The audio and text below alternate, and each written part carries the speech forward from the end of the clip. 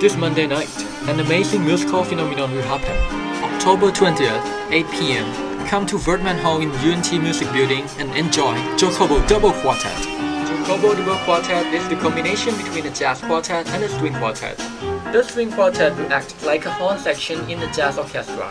You will hear some fantastic music from Maria Schneider, Eddie Vinson, Drew Zaremba, and Aaron Hedenstrom. We will feature Brad Kang and Connor Kent of the One O'Clock Lab Band on guitar and drums, Christopher Wright and Sopon Suwannakit on bass and piano, Chuong Vu, the concert master of UNT Concert Orchestra, and Yalira Montejo on violin, Kyle Davis and Lejing Zhou on viola and cello. Come and hear our wonderful music this Monday night. October 20th at 8 p.m. in Voertman Hall Music Building, University of North Texas. I promise that it's gonna be awesome.